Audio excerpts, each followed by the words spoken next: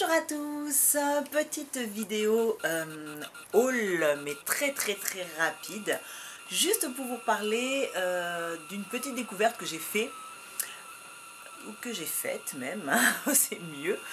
Euh, donc je suis allée, oh là là, c'est le week-end, compliqué.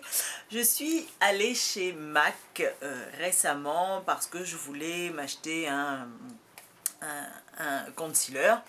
Euh, parce que bon bah j'en ai plusieurs mais j'ai celui euh, de chez euh, Nars que je trouve un peu pâteux et voilà et qui bon par contre si vous avez des cernes marquées il est juste génial hein, pour ça mais je le trouve quand même un peu compact donc j'avais envie de quelque chose de plus léger, parce que effectivement j'ai des cernes, mais pas tant que... Enfin, elles sont pas noires, si vous voulez. Donc euh, j'avais juste envie que ça cache un petit peu. Voilà, juste pour euh, faire un petit effet, euh, la nana elle a quand même un peu dormi la nuit, et pas, oulala, mon dieu, mon dieu.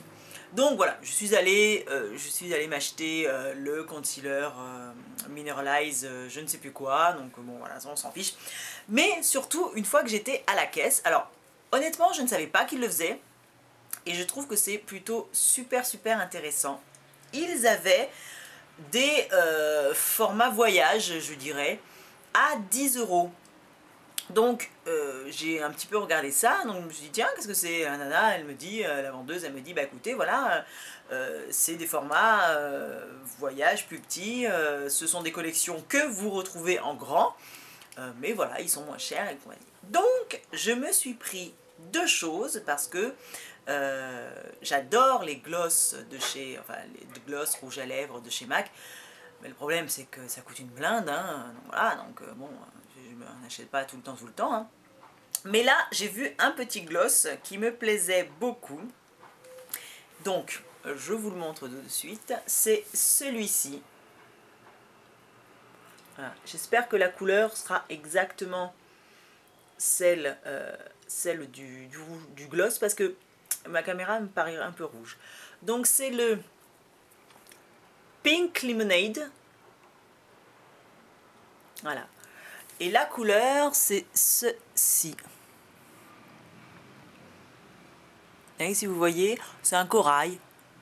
Hein, un corail. Voilà. Donc, euh, c'est un...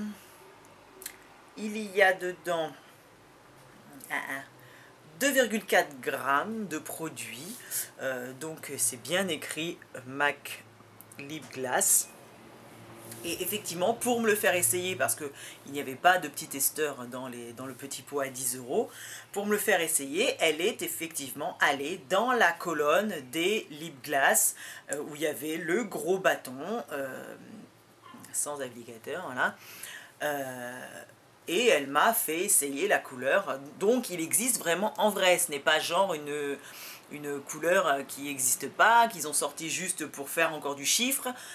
Voilà, il existe vraiment en vrai. Euh, mais moi, comme j'ai 40 000 tonnes de rouge à lèvres, de gloss, de tout ce que vous voulez qui se met sur les lèvres, euh, je me suis dit, bon, euh, je ne vais pas l'utiliser tous les jours, je ne vais pas m'en servir à outrance. Un petit produit comme ça, et eh ben, ce sera juste parfait.